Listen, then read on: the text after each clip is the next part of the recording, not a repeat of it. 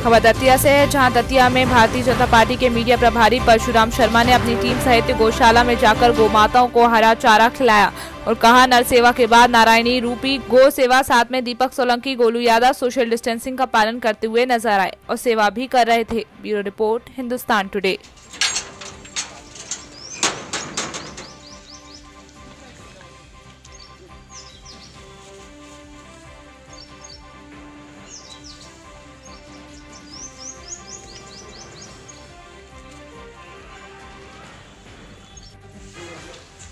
जय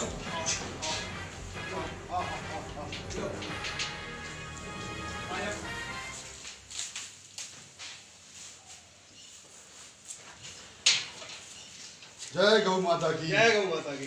जय श्री राम। पाँच छः दिन हो गए इसका।